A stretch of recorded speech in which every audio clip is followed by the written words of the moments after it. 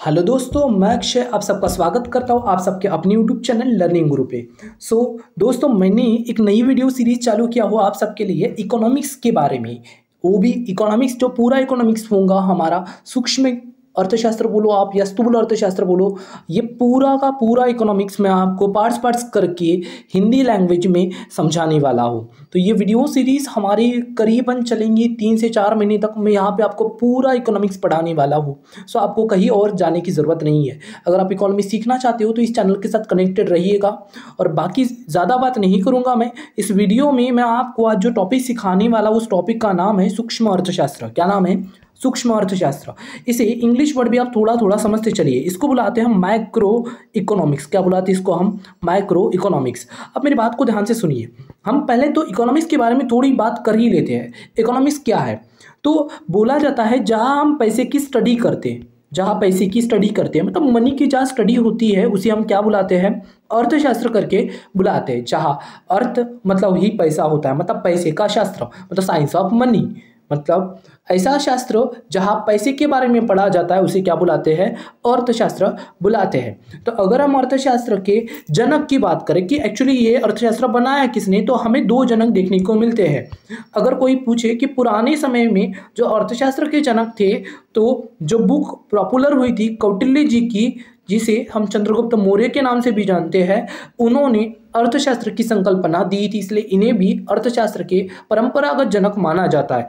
अगर कोई पूछे कि आधुनिक अर्थशास्त्र के जनक कौन है मतलब जो अभी चल रहा है मॉडर्न इकोनॉमिक्स उसके जनक कौन है, अगर आपको ये पूछता है तो उसका आंसर बनता है हमारा एडम स्मिथ क्या बनता है? एडम स्मिथ बहुत सारे बच्चों को ये चीज़ पता नहीं होती, क्यों, मालूम नहीं, क्यों नहीं होती बट ये बेसिक चीज़ है ना, ये पता होनी चाहिए, इसलिए मैंने आपको ये चीज़ें बता दिया। तो आपको एक थोड़ी सी अंडरस्टैंडिंग आ गई होंगी कि अर्थशास्त्र मतलब पैसे के बारे में पढ़ाना। तो हम इन सब चीज़ों को इस चैप्टर में कवर करने वाले हैं। तो इस चैप्टर में हम क्या बात करने वाले हैं? तो सबसे पहले अर्थशास्त्र को दो भागों में बांटा गया था।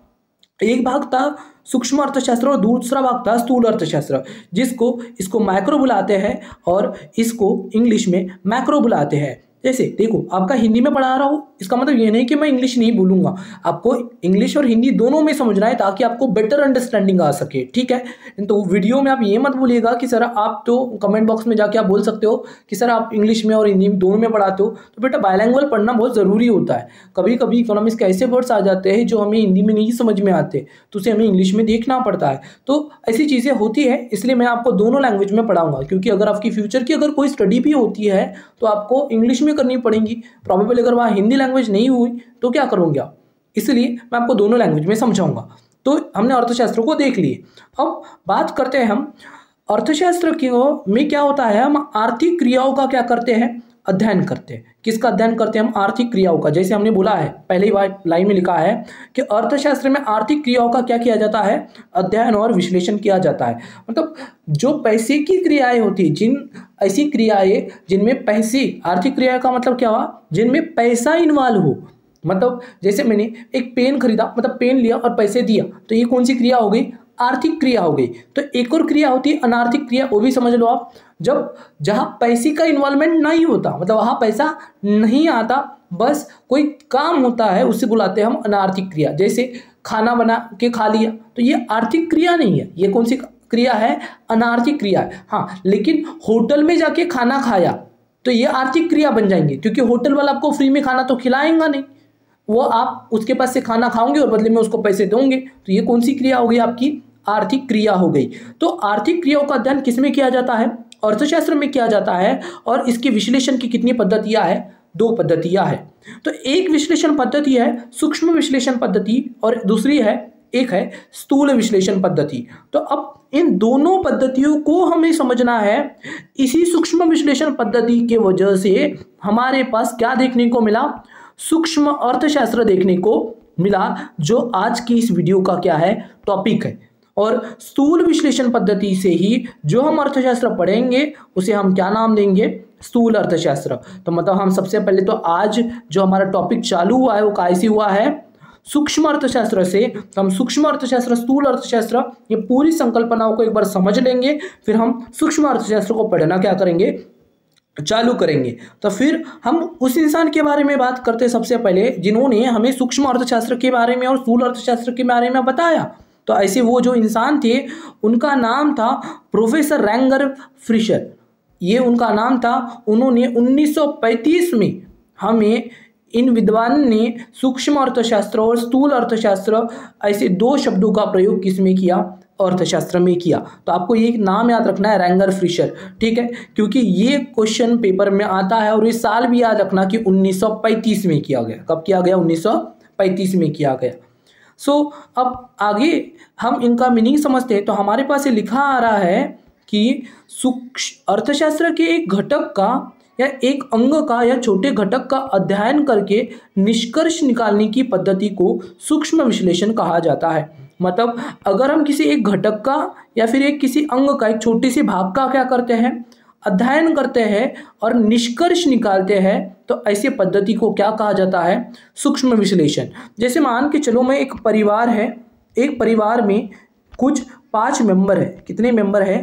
पाँच मेंबर है। एक, दो, तीन, चार, पाँच। ठीक है? ये पाँच मेंबर एक परिवार मतलब एक घटक हो गया, एक छोटा सा अंग हो गया। अगर इसका मैं अध्ययन करूँ और कोई निष्कर्ष निकालूं कि ये परिवार के लोग अच्छे हैं, इस परिवार के लोग हेल्दी है तो मतलब मैं एक परिवार का अध्ययन मतलब छोटे से परिवार का अध्ययन कराओ, क्योंकि पूरे देश में तो कितने सारे परिवार हैं। तो अगर मैं किसी छोटे से घटक का अध्ययन करके निष्कर्ष निकालता हूँ ना तो उसे क्या बोला जाता है? सूक्ष्म विश्लेषण। मतलब हम छोटे घटकों का क्या करते हैं, इसमें अध्ययन करते हैं। संपूर्ण अर्थव्यवस्था का व्यापक रूप से अध्ययन करके निष्कर्ष निकालने की पद्धति को स्थूल विश्लेषण कहते हैं। तो अगर आप संपूर्ण अर्थव्यवस्था का एक साथ अध्ययन करते हो, व्यापक रूप में बड़े पैमाने पर मतलब एक परिवार के नहीं, पूरी जैसे भारत देश में जितने भी परिवार होंगे, उन सबका अध्ययन अगर आप एक साथ करोगे तो उसे क्या कहा जाता है? स्थूल विश्लेषण कहा जाता है। यहाँ मैंने आपके लिए कुछ उदाहरण भी रखा हूँ, जैसे कि आप यहाँ देख सकते हो। उदाहरण के रूप में हम कह सकते हैं कि जंगल के एक पेड़ का अध्ययन करना क्या हो गया? सूक्ष्म विश्लेषण मतलब एक जंगल है इस जंगल में बहुत सारे पेड़ होते हैं तो एक पेड़ का अध्ययन करना क्या हो गया? सूक्ष्म विश्लेषण हो गया और संपूर्ण जंगल के बारे में मतलब पूरे जंगल के बारे में अध्ययन करना क्या हो गया? स्थूल विश्लेषण हो गया। समझ में आई बात आपको? तो आर्थिक विश्लेषण की इन दोनों पद्धतियों के आधार पर अर्थशास्त्र को निम्न दो भागों में बांटा गया है। इन्हीं आर्थिक विश्लेषण की पद्धतियों को हमने दो भागों में बांटाया है और हमने दो अर्थशास्त्र बनाए। कौन कौन से दो अर्थशास्त्र बनाए हैं? सो हमने जो दो अर्थशास्त्र बनाए वो ये है हमारे पास। एक है सूक्ष्म अर्थशास्त्र और एक है हमारा स्थूल अर्थशास्त्र। जब हम छोटे से भाग का अध्ययन की बात करेंगे तो वहाँ सूक्ष्म अर्थशास्त्र आएगा जब हम संपूर्ण अर्थव्यवस्था की बात करेंगे तो वह हमारा स्थूल अर्थशास्त्र आएगा। क्लियर हो गया होगा आई थिंक आपको कॉन्सेप्ट सो हम आगे बढ़ते हैं और हम आगे बात करते हैं हमारे नेक्स्ट टॉपिक के बारे में मतलब सूक्ष्म अर्थशास्त्र के अर्थ के बारे में, कि सूक्ष्म अर्थशास्त्र होता क्या है? तो सूक्ष्म अर्थशास्त्र के अंदर हमारे पास, पहले तो हम इसका मीनिंग समझ लेते हैं। सूक्ष्म का सामान्य अर्थ होता है छोटा छोटा होना। अंग्रेज़ी में इसको क्या कहते हैं? माइक्रो कहते हैं। और अर्थ ही क्या होता है? इसका अगर हम माइक्रो का अर्थ निकालते हैं तो इसका मतलब होता है अत्यंत छोटा। जब हम अर्थव्यवस्था के घटक का व्यक्तिगत रूप से सूक्ष्म रीति के द्वारा अध्ययन करते हैं तो उसे हम क्या कहा जाता है? सूक्ष्म अर्थशास्त्र कहा जाता है। मतलब अगर आप अर्थव्यवस्था के किसी छोटे से घटक का क्या करो? व्यक्तिगत रूप से मतलब पर्सनली आप सूक्ष्म रीति मतलब छोटी छोटी बातों का अध्ययन करते हो तो उसी को क्या कहा जाता है? सूक्ष्म अर्थशास्त्र कहा जाता है। सूक्ष्म अर्थशास्त्र में जो अध्ययन किया जाता है ना, वो किसी व्यक्ति का होगा, किसी एक विशिष्ट व्यक्ति का हो सकता है। हाँ इसलिए इसे हम कभी कभी व्यक्तिगत या वेस्टी देखो इसे कभी कभी व्यक्तिगत अर्थशास्त्र या वेस्टी अर्थशास्त्र भी कहा जाता है। वेस्टी क्यों? वेस्टी इसलिए बोला जाता है क्योंकि यह एक ही घटक का क्या किया जाता है? अध्ययन किया जाता है। या इसे व्यक्तिगत अर्थशास्त्र भी कहते हैं। आगे लिखा है यहाँ पे, यहाँ क्या होता है? एक छोटे से घटक का अध्ययन करते हैं। क्या करते हैं हम? एक छोटे से घटक का क्या करते हैं? अध्ययन करते हैं और निष्कर्ष निकालते हैं। जैसे मैंने आपको यह एग्ज़ाम्पल से बताया हूँ कि जिस प्रकार मानव शरीर के एक बूंद खून की जाँच करके हम संपूर्ण शरीर के बारे में क्या करते हैं? निष्कर्ष निकालते हैं। ठीक उसी प्रकार सूक्ष्म अर्थशास्त्र के अंतर्गत एक घटक का क्या करते हैं? अध्ययन करते हैं या फिर एक उद्योग का अध्ययन करते हैं और संपूर्ण अर्थव्यवस्था करे निष्कर्ष निकालने की क्या की जाती है? कोशिश की जाती है। बात बहुत सिंपल है बेटा, ध्यान से सुनना। अगर देखो, अगर कोई इंसान है, ठीक है, कोई इंसान है, मैं एक इंसान बना लेता हूँ, ये मैंने इंसान बना लिया, मिस्टर ए है तो मैं इनके बॉडी से अगर एक बूंद खून निकालूं और उसकी जाँच करूँ तो मुझे पता चल जाएगा कि मिस्टर ए को क्या क्या बीमारियाँ हैं। तो जैसे ही मतलब मैंने एक बूंद खून की जाँच करके संपूर्ण शरीर के बारे में बता दिया तो सेम वैसे ही होता है सूक्ष्म अर्थशास्त्र में। मतलब हम संपूर्ण अर्थव्यवस्था के, संपूर्ण अर्थव्यवस्था के क्या करते हैं? संपूर्ण अर्थव्यवस्था के एक छोटे से घटक का अध्ययन करते हैं और संपूर्ण अर्थव्यवस्था के बारे में निष्कर्ष निकालने की क्या करते हैं? कोशिश करते हैं। जैसे मान के चलो, मैंने एक की देखा, एक चीज़ देखते हैं, मान के चलो एक छोटा सा हम बात करते हैं तो ए की इनकम थी सौ रुपये और ए अपनी इनकम से खुश नहीं था। तो मैंने ऐसे ए, बी, सी ऐसे चार पाँच लोगों का अध्ययन किया और मुझे पता चला कि भारत देश के लोगों की आय बहुत कम है और भारत देश के लोग खुश नहीं है। ऐसा मैंने एक निष्कर्ष निकाल लिया। मतलब अध्ययन मैंने पूरे भारत देश का किया क्या? नहीं किया। मैंने दस बारह लोगों का अध्ययन किया और मैंने ये निष्कर्ष निकाल दिया। मतलब हम एक छोटे से घटक का अध्ययन करके जब संपूर्ण अर्थव्यवस्था के बारे में बात करते हैं ना तो कौन सा अर्थशास्त्र होता है हमारा? सूक्ष्म अर्थशास्त्र होता है। आई थिंक आपकी बात क्लियर हो गई होंगी। अगर हम आगे बात करते हैं तो मैंने आपके लिए यहाँ पे और भी बातें लिखा हूँ, जैसे आप यहाँ पढ़ते हैं, हम फिर समझाते हैं। सूक्ष्म अर्थशास्त्र में एक व्यक्ति, सूक्ष्म अर्थशास्त्र के अंदर एक व्यक्ति, एक परिवार, एक उद्योग या एक विशिष्ट वस्तु की कीमत का अध्ययन किया जाता है। मतलब हम यहाँ बड़ी चीज़ों का अध्ययन नहीं करते। सभी इंसानों की अध्ययन नहीं करेंगे। हम एक व्यक्ति, एक परिवार आदि का क्या करेंगे? अध्ययन करेंगे। जैसे एक व्यक्ति के लिए जैसे छोटे घटक कैसे होते हैं? यह एग्ज़ाम्पल में आपको लिखा हूँ कि व्यक्तिगत उपभोक्ता अपना संतुलन कैसे बनाता है, इसका विचार सूक्ष्म अर्थशास्त्र में किया जाता है। संपूर्ण अर्थव्यवस्था के उपभोग का विचार इसमें नहीं किया जाता। मतलब देखो, मिस्टर ए जो है, अपना व्यक्तिगत उपभोग मतलब ये अपना कंजम्पशन कैसे करता अपनी ज़िंदगी कैसे गुजारता है, इसका अध्ययन सूक्ष्म अर्थशास्त्र में होगा। पर मिस्टर ए जैसे भारत देश में रहने वाले या किसी अर्थव्यवस्था में रहने वाले सभी व्यक्तियों का अध्ययन सूक्ष्म अर्थशास्त्र में नहीं किया जाता, इसलिए ये बोला है कि संपूर्ण अर्थव्यवस्था का उपभोग कितना है, इसका अध्ययन सूक्ष्म अर्थशास्त्र में नहीं करते। तो सूक्ष्म अर्थशास्त्र में नहीं करते मतलब स्थूल अर्थशास्त्र में करते हैं। ठीक है तो हम वो बाद में देखेंगे। आगे देखिए, और क्या है हमारे पास? तो हमारे पास और भी बातें लिख के आई है कि व्यक्तिगत मांग या एक उद्योग की मांग का अध्ययन सूक्ष्म अर्थशास्त्र में किया जाता है। एक व्यक्ति की मांग कितनी है या एक उद्योग की मांग कितनी है, इसका अध्ययन किया जाएगा। संपूर्ण उद्योग की मांग या संपूर्ण अर्थव्यवस्था की मांग का अध्ययन इसमें नहीं किया जाता। मतलब ये वो एग्ज़ाम्पल बता रहा हूँ मैं आपको कि यहाँ छोटी छोटी बातों का अध्ययन किया जाता है। बड़ी बातों का अध्ययन नहीं किया जाता। जैसे एक व्यक्ति की मांग कितनी होंगी ये बता देंगे और एक उद्योग की मांग कितनी होंगी ये सूक्ष्म अर्थशास्त्र में बताएँगे। लेकिन संपूर्ण उद्योगों की मांग कितनी है? संपूर्ण देश की मांग कितनी है, इसके बारे में हम बात नहीं करेंगे। किस सब, इसमें बात नहीं करेंगे, सूक्ष्म अर्थशास्त्र के अंदर नहीं बात करेंगे मतलब इसमें यह अध्ययन नहीं किया जाता है। अगर आगे हम बात करते हैं तो यहाँ पे विशिष्ट वस्तु की कीमत का अध्ययन किया जाता है। अगर कोई एक वस्तु है, उसके कीमत निर्धारण का अध्ययन किया जाएगा, किसी एक विशिष्ट वस्तु की कीमत निर्धारण का अध्ययन इसमें किया जाता है, सूक्ष्म अर्थशास्त्र में।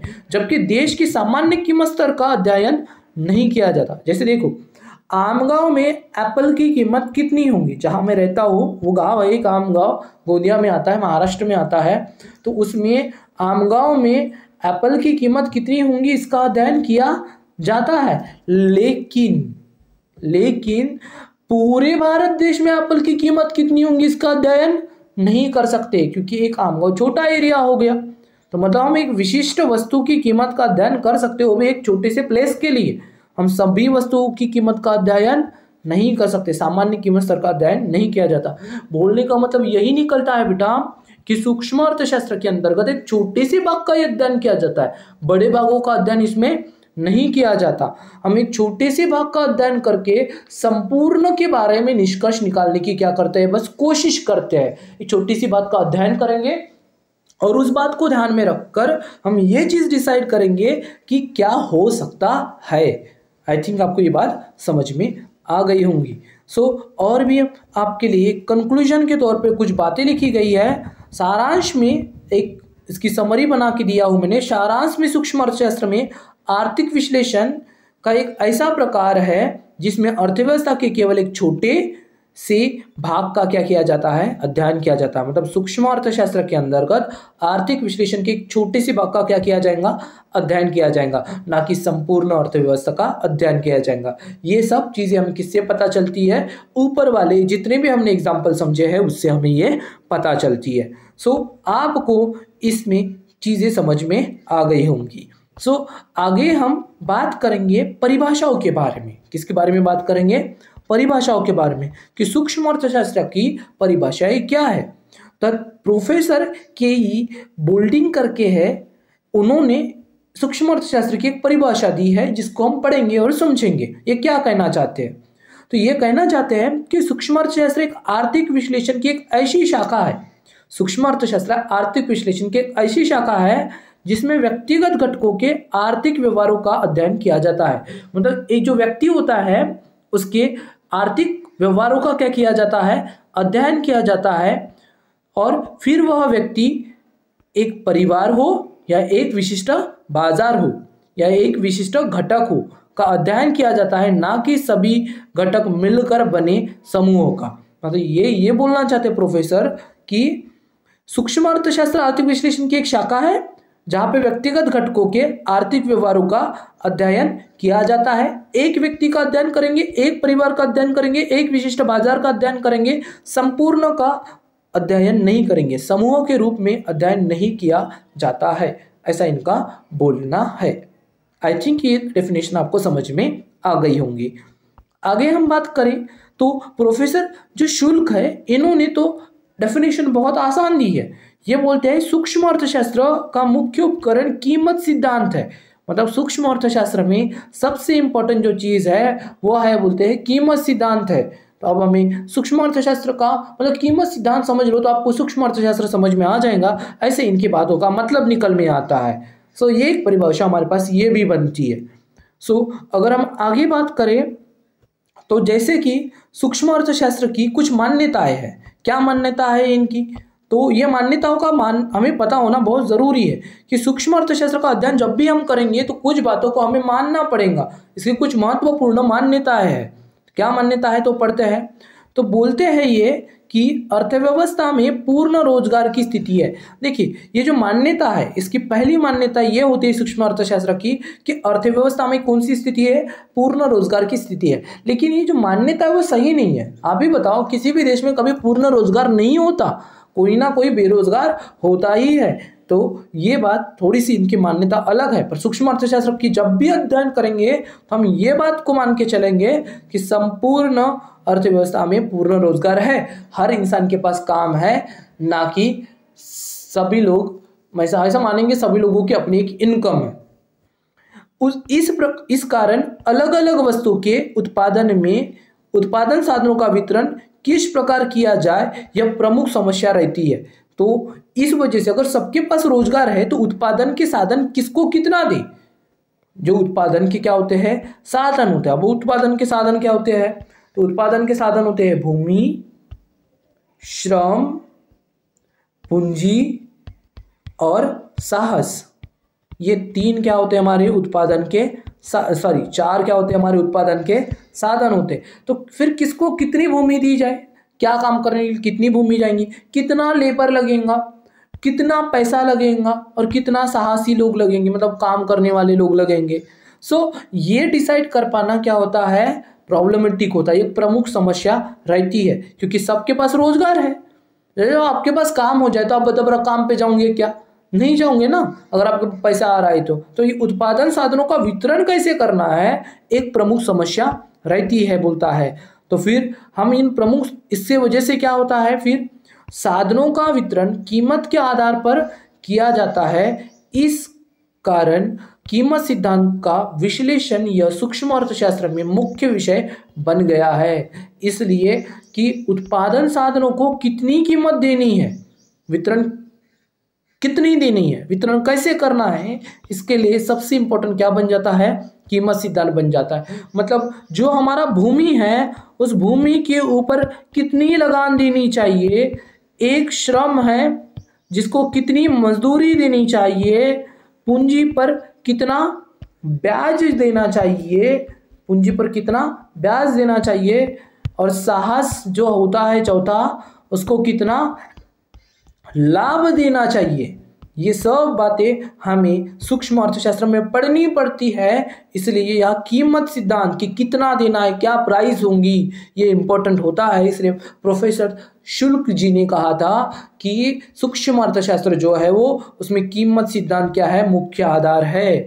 तो यही चीज़ हमारे पास दिखाई गई है। तो हमें ये पढ़ना है। तो जो मैंने आपको अभी बताया तो वो सूक्ष्म अर्थशास्त्र की विशेष मतलब अर्थ था परिभाषा ये थी तो अब हम सूक्ष्म अर्थशास्त्र की क्या पढ़ लेंगे? कुछ विशेषताएँ। तो आपको इस वीडियो से क्या क्या क्लियर हो जाएगा? सूक्ष्म अर्थशास्त्र का अर्थ पता चल जाएगा, उसकी परिभाषाएँ पता चल जाएँगी और उसकी विशेषताएँ पता चल जाएँगी।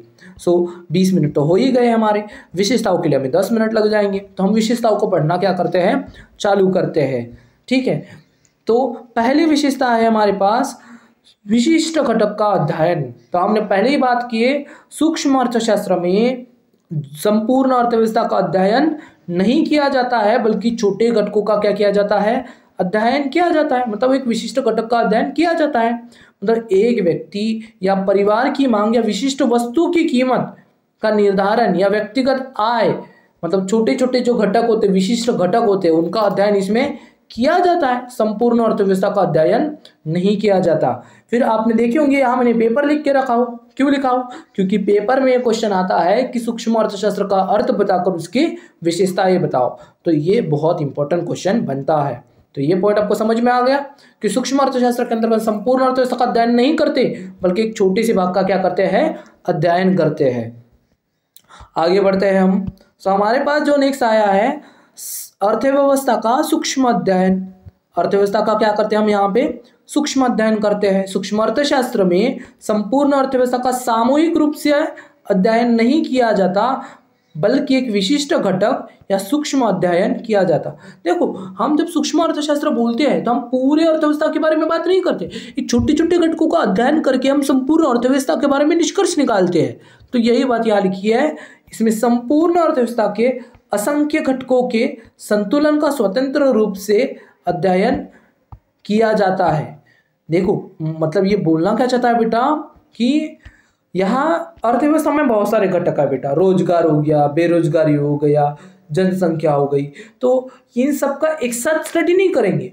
हम छोटा छोटा करके क्या करेंगे? स्टडी करेंगे। जैसे ग्रामीण इलाके में मतलब कोई एक गाँव है तो उसमें ग्राम, कुछ लोग अमीर होते हैं, कुछ गरीब होते हैं।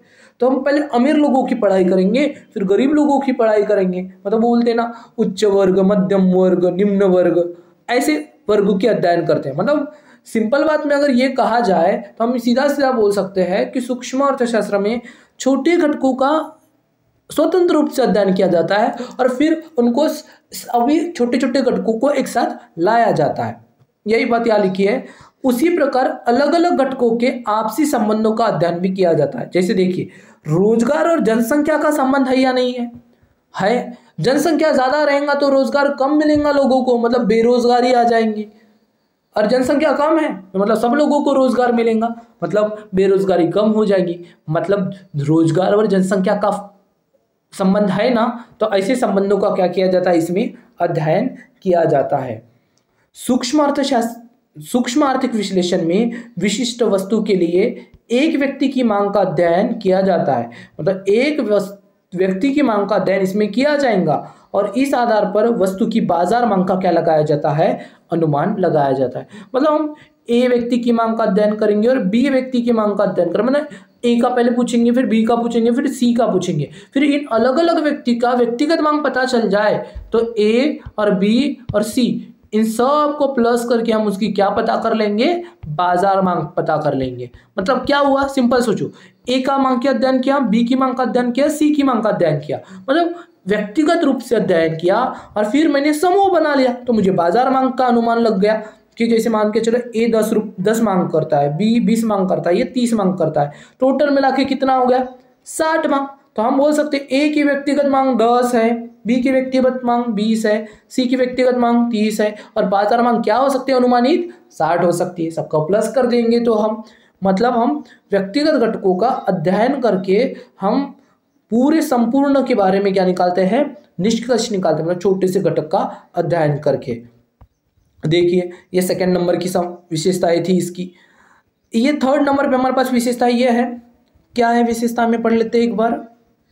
सो सूक्ष्म घटक के अध्ययन से समूह संतुलन का अध्ययन। मतलब हम छोटे छोटे घटक का अध्ययन करके समूह संतुलन का अध्ययन करते हैं। मतलब छोटी छोटी बातों को पढ़ेंगे और फिर एक बड़ी चीज़ को पढ़ेंगे। जैसे देखो, यह लिखा ही है, सूक्ष्म अर्थशास्त्र में व्यक्तिगत घट, आर्थिक घटकों के संतुलन का अध्ययन किया जाता है। जैसे एक उपभोक्ता अपनी सीमित आय से अधिकतम संतुष्टि प्राप्त करने के लिए किस प्रकार संतुलन करता है? जैसे देखो, यह संतुलन का अध्ययन किया जाता है, बोलता है। मतलब एक इंसान है, जिसकी आय कितनी है? हज़ार रुपये है, मान के चलो। तो ये हज़ार रुपये में किस तरीके से उपभोग उपयोग करता है, जिसे क्या हो जाए? अधिकतम संतुष्टि मिल जाए। ज़्यादा से ज़्यादा इसको खुशी मिले, इस बात का अध्ययन यहाँ पे किया जाता है। एक बाज़ार में अधिकतम आय प्राप्त करने के लिए किस प्रकार संतुलन बनाता है? एक बाज़ार है कोई, एक बाज़ार है मतलब एक मान के चलो किसी गाँव का बाज़ार है, आम गाँव का बाज़ार है तो आम गाँव में बाज़ार वाले लोग होंगे तो वो अपन कितना ज़्यादा प्रॉफिट कमाए? जैसे आम गाँव के बाज़ार वाले का एक का नाम ले लेते हैं, ए तो ये ये जो बाज़ार में रहने वाला व्यक्ति है, ये अधिक से अधिक आय कैसे कमाएगा? इसके बारे में सोचेगा। इसका अध्ययन इसमें किया जाता है। मतलब सिंपल बोलने का मतलब हम एक व्यक्ति के बारे में ही तो पढ़ रहे हैं। तो एक व्यक्ति अपना संतुलन कैसे बनाता है, इसका अध्ययन कहा किया जाता है? सूक्ष्म अर्थशास्त्र में किया जाता है। जैसे यहाँ लिखा है, एक बार हम पढ़ लेते हैं। इस प्रकार व्यक्तिगत अध्ययन के आधार पर बाज़ार और उद्योग समूहों के संतुलन का अध्ययन किया जाता है। जैसे एक व्यक्ति का संतुलन पता चल गया तो हम संपूर्ण व्यक्तियों का संतुलन कैसे बनता है, इसका अध्ययन किया जाता है। लेकिन लिखाई है यहाँ पे, समूह संतुलन का अध्ययन करते समय समूह की संकल्पना संकुचित होती है। मतलब कि हम यहाँ पे एक छोटे से व्यक्ति का अध्ययन करते, पूरे समूह का अध्ययन नहीं करते मतलब सूक्ष्म अर्थशास्त्र में छोटे आर्थिक समूह का अध्ययन किया जा सकता है, लेकिन विस्तृत लेवल पे, बड़े लेवल पे इसका अध्ययन नहीं करते। मतलब अर्थव्यवस्था के संपूर्ण व्यक्तिगत घटकों का सामूहिक रूप से अध्ययन नहीं करते। दूसरे शब्दों में हम कहें तो सूक्ष्म अर्थशास्त्र में क्या होता है? संपूर्ण अर्थव्यवस्था का अध्ययन नहीं किया जाता। मतलब बोलने का कंक्लूजन तो एक ही निकल में आया बेटा। कि हम अर्थशास्त्र में छोटे छोटे घटकों का अध्ययन करेंगे, ना कि बड़े घटकों का अध्ययन करेंगे। क्लियर है बात? तो चलिए, हम आगे बढ़ते हैं। तो हमने बात किए थे कि एक प्रोफेसर शुल्क जी की परिभाषा आपको याद होंगी तो हम उन्होंने बोला था कीमत सिद्धांत क्या है? इसका मुख्य आधार है। तो ये इसकी एक विशेषता है। क्योंकि सूक्ष्म अर्थशास्त्र में जो मुख्य आधार है वो कौन है? कीमत सिद्धांत है। सूक्ष्म अर्थशास्त्र की मान्यता है कि उत्पादन के साधन क्या होते हैं? सीमित होते हैं जिससे देखो आप ही समझो, उत्पादन के जो साधन है, भूमि है, सीमित है, श्रम है, सीमित है, पैसा सीमित है मतलब उत्पादन के साधन क्या है? सीमित है। उत्पादन के साधन बताया ना मैंने आपको क्या क्या बताया? भूमि बताया, श्रम बताया, उसके बाद पूंजी बताया, साहस बताया। तो ये सीमित साधन है तो इन सीमित साधनों से विभिन्न वस्तुओं का उत्पादन कैसे किया जाए या इन विभिन्न साधनों का वितरण कैसे किया जाए, ये प्रमुख समस्या रहती है। इसके पहले हमने बात कर चुके हैं। तो यह वितरण की समस्या सुलझाने के लिए हम किसके ऊपर ध्यान देते हैं? कीमत पर निर्भर रहते हैं। कि लिखा ही है ये वितरण मुख्यतः साधनों की कीमत पर क्या करता है? निर्भर करता है। इसलिए सूक्ष्म अर्थशास्त्र में पहले वस्तु एवं साधन की सापेक्ष कीमत निर्धारण का विचार किया जाता है, जिस कारण कीमत सिद्धांत अर्थशास्त्र का मुख्य क्या बन चुका है? आधार बन चुका है। देखिए यहाँ ये मुख्य आधार इसलिए है क्योंकि उत्पादन के साधन सीमित है। तो उत्पादन साधनों का वितरण कैसे किया जाए? किसको कितनी भूमि दी जाए? कितनों कितना श्रम दिया जाए? किसको कितनी पूंजी लगेंगी? ये हम तय नहीं कर सकते। तो हम इसके क्या करते हैं? सूक्ष्म अर्थशास्त्र में उन कीमत साधनों की सापेक्ष कीमत निर्धारण का क्या करते हैं? अध्ययन करते हैं। और बाद में उनका एक कीमत फिक्स करते हैं, कीमत निश्चित करते हैं। मतलब बोलने का मतलब ये हुआ कि ये जो कीमत निर्धारण हुआ ना उत्पादन साधनों का, वो कहा किया जाता है? सूक्ष्म अर्थशास्त्र में किया जाता है, इसलिए सूक्ष्म अर्थशास्त्र में कीमत सिद्धांत को मुख्य आधार माना गया है। तो इसकी चौथी विशेषताएँ थी। आपको समझ में आ गई होंगी। फिर ये बहुत इंपॉर्टेंट विशेषता है। देखो, किसी भी चीज़ की कीमत का अगर आपको निर्धारण करना है ना तो हमें दो बातों का पता होना चाहिए। क्या होना चाहिए? मांग और पूर्ति। किसी भी वस्तु की कीमत हमेशा उसकी मांग और पूर्ति पर क्या करती है? निर्भर करती है। तो मांग और पूर्ति का क्या किया जाता है? इसमें विश्लेषण किया जाता है। देखिए लिखा ही है सूक्ष्म अर्थशास्त्र में मांग और पूर्ति का विश्लेषण को महत्वपूर्ण स्थान है, क्योंकि किसी भी वस्तु की कीमत उसकी मांग और पूर्ति पर क्या करती है? निर्भर करती है। थोड़ी देर पहले तो मैंने आपको बताया कि किसी भी वस्तु की मांग उसके, किसी भी वस्तु की कीमत उसके मांग और पूर्ति पर निर्भर करती है। जो वस्तु की मांग होती है, वो उपभोक्ता के व्यवहार पर निर्भर करती है। अगर कोई चीज़ मुझे पसंद है तो मैं खरीदूँगा, नहीं तो नहीं खरीदूँगा। मतलब जो मांग हुई, मांग करो मैं वस्तु चाहिए या नहीं चाहिए, वो किसके ऊपर निर्भर करेंगी? उपभोक्ता के व्यवहार पर। जैसे समझाता हूँ मैं आपको, मुझे आईफोन चलाना ही नहीं है तो मैं उसकी मांग करूँगा क्या? नहीं करूँगा, क्योंकि जो मेरा व्यवहार है, वो उपभोक्ता को लेके अलग है तो ये चीज़ हो गई। दूसरी चीज़ हम बात करते हैं, जो पूर्ति जो होती है, उत्पादन की लागत पर निर्भर करती है। देखिए, अब उत्पादक की लागत जो है, वो ज़्यादा आ गई मतलब किसी को वो सामान बनाने में बहुत सारा खर्चा हो रहा है मतलब बहुत सारा पैसा लग रहा है। तो वो उस चीज़ का उत्पादन करेंगे क्या? नहीं करेंगे। मतलब जो पूर्ति होती है उत्पादन के लागत पर और उत्पादक के व्यवहार पर क्या करती है? निर्भर करती है। तो कोई भी आपसे पूछे, मांग किस बात पर निर्भर करती है? तो आपको आंसर करना है। जो मांग जो निर्भर करती है ना, वो किसके ऊपर निर्भर करती है? तो उपभोक्ता के व्यवहार पर निर्भर करती है। जो पूर्ति होती है ना, वो किसके ऊपर निर्भर करती है? तो उत्पादन की लागत और उत्पादक के व्यवहार पर क्या करती है? निर्भर करती है। और आपको पता है, किसी भी वस्तु की कीमत तब निश्चित होती है बेटा, जब उसकी मांग और पूर्ति दोनों क्या हो जाए? समान हो जाए।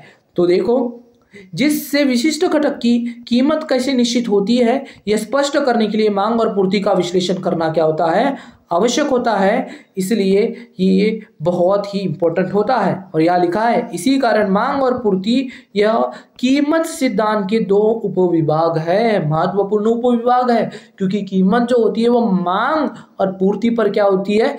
तय होती है। कैसे तय होती है सिखाओगे क्या, सर? हाँ बेटा इकोनॉमिक्स मैंने बोला ना कि पूरी सीरीज़ सिखाऊँगा। तो उसमें हम आएँगे कि वस्तु की कीमत कैसे निश्चित होती है। सो इतनी बात आपको समझ में आ गई होंगी। तो चलिए, आगे बढ़ते हैं हम। एक हमारे पास विशेषताएँ ए बी है। मतलब हमारे पास और दो विशेषताएँ बची है। चलिए, ये छठवें नंबर की विशेषताएँ है। तो छठवें नंबर की विशेषता में, कल्याणकारी अर्थशास्त्र, यह महत्व की शाखा। देखो, सूक्ष्म अर्थशास्त्र को ना कल्याणकारी अर्थशास्त्र की महत्वपूर्ण शाखा कहा गया क्यों कहा गया क्योंकि आपको मैंने पहले बताया कि ये जो अर्थशास्त्र है, सूक्ष्म अर्थशास्त्र, ये बोलता है कि जो साधन सीमित है, उन सीमित साधनों का कैसे प्रयोग करूँ जिससे कि सब लोगों का फ़ायदा हो? मतलब लोगों का कल्याण हो, इस बात के ऊपर ज़्यादा ध्यान देता है। मतलब सीमित साधनों में ज़्यादा से ज़्यादा संतुष्टि कैसे मिले? इस बात का ध्यान सूक्ष्म अर्थशास्त्र में रखा जाता है। इसलिए तो इसको कल्याणकारी अर्थशास्त्र भी कहा जाता है। जिसे देखिए। इसमें विशिष्ट वस्तु की कीमत निश्चित करते समय विभिन्न साधनों का वितरण कार्य समानतापूर्ण हुआ है या नहीं हुआ है, यह स्पष्ट किया जाता है। जब हम किसी भी वस्तु की कीमत निश्चित करते हैं तो यह देखा जाता है, क्या इसकी प्राइस सही फिक्स हुई है या नहीं हुई? समानता है या नहीं है? तो इस बात का अध्ययन इसमें किया जाता है। अलग अलग साधनों के वितरण से लोगों को अधिकतम संतुष्टि प्राप्त हुई है तो साधनों का वितरण पूर्ण कार्यक्षमता से हुआ है, या ऐसा कहा जा सकता है कि अधिकतम संतुष्टि या कल्याण या सूक्ष्म अर्थशास्त्र के लिए क्या होता है, महत्वपूर्ण होता है। जैसे मैंने आपको पहले ही बताया कि जो वितरण करते हैं, उससे अधिकतम संतुष्टि मिली है या नहीं? वस्तु की कीमत जो निश्चित की गई, वह सही है या नहीं? सभी उपभोक्ता तक सामान पहुँच रहा है या नहीं पहुँच रहा है, इन सब बातों का भी ध्यान सूक्ष्म अर्थशास्त्र में रखा जाता है। और ये जब ये रखा जाता है, उसकी को हम क्या बुलाते हैं? कल्याणकारी अर्थशास्त्र बुलाते हैं। इसलिए ये एक महत्वपूर्ण क्या है? इसकी शाखा है। कल्याणकारी अर्थशास्त्र एक अलग अर्थशास्त्र होता है बेटा, ये याद रखना, ठीक है? चलिए, आगे बढ़ते लास्ट विशेषता है ये इसकी, सातवें नंबर की। पूर्ण रोज़गार और स्वतंत्र बाज़ार मान्यताओं पर आधारित। देखिए, हमने बोले थे ना सूक्ष्म अर्थशास्त्र की कुछ अपनी एक विशेषताएँ है, कुछ मान्यताएँ है। अगर ये मान्यताएँ पूरी हुई तो ये सूक्ष्म अर्थशास्त्र के जो नियम होंगे, वो लागू होंगे। अदरवाइज़ वो नियम लागू नहीं होंगे। मतलब सिंपल है। अगर मान्यता पूरी हुई तो नियम लागू होगा। मान्यता लागू नहीं हुई तो नियम कैसे लागू होगा? तो यही तो सूक्ष्म अर्थशास्त्र पूर्ण रोज़गार और स्वतंत्र बाज़ार मान्यता पर क्या है? आधारित है। जैसे पूर्ण रोज़गार एक मान्यता है कि अर्थव्यवस्था में पूर्ण रोज़गार होगा, तभी सूक्ष्म अर्थशास्त्र के नियम क्या होंगे? बहुत सारे नियम लागू होंगे। अदरवाइज़ नहीं तो ये वाले नियम लागू नहीं होंगे। तो यही बात लिखी है। सूक्ष्म अर्थशास्त्र का विश्लेषण उपरोक्त दोनों मान्यताओं पर क्या है? आधारित है। पूर्ण रोज़गार और स्वतंत्र बाज़ार मान्यताओं पर क्या है ये? आधारित है। इसी कारण साधनों का वितरण अलग अलग वस्तु के उत्पादन में किस प्रकार किया जाए, यह समस्या उत्पन्न होती है। क्योंकि पूर्ण रोज़गार है ना अब पूर्ण रोज़गार है तो साधनों को कैसे वितरित किया जाए? ये समस्या रहती है हमने दो चार बार पढ़े हैं तो ये चीज़ें होती है। मतलब सूक्ष्म अर्थशास्त्र बहुत सारी मान्यताओं पर क्या है? आधारित होता है जो मैंने आपको पहले भी पढ़ा दिया था उसकी मान्यता है। सो so, इस वीडियो में मैंने आपको क्या सिखाया बेटा? सूक्ष्म शास्त्र का अर्थशास्त्र का अर्थ बताया उसकी विशेषताएँ बताया और उस हाँ परिभाषाएँ भी बता चुका हूँ मैं। तो पहले तो मैंने आपको अर्थशास्त्र के बारे में बताया। तो आई थिंक ये चीज़ आपके लिए बहुत ही इंपॉर्टेंट रही होंगी। अगर वीडियो अच्छी लगी है तो लाइक करना बेटा। कोई क्वेश्चन होगा तो कमेंट बॉक्स में ज़रूर भेजना। और किसी टॉपिक के ऊपर वीडियो चाहते हो इकोनॉमिक्स से रिलेटेड कोई भी टॉपिक हो, आप कमेंट बॉक्स में बताइए। मैं उसके ऊपर वीडियो बना के आप तक ज़रूर पहुँचाऊँगा। बस इस वीडियो में बस इतना ही। चैनल के साथ बने रहिए। मैं आपके लिए ऐसे ही नए नए अच्छे अच्छे वीडियोज़ बनाते लाऊँगा जिससे कि आपकी कॉन्सेप्ट स्टडी अच्छे से हो सके। सो तब तक के लिए टेक केयर मिलेंगे हमारी नेक्स्ट वीडियो में।